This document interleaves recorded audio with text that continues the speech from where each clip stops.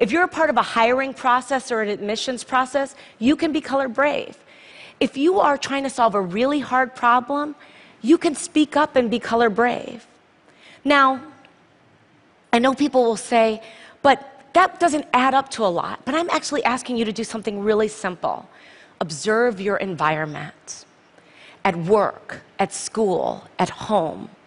I'm asking you to look at the people around you purposefully and intentionally.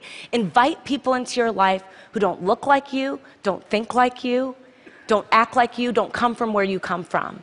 And you might find that they will challenge your assumptions and make you grow as a person.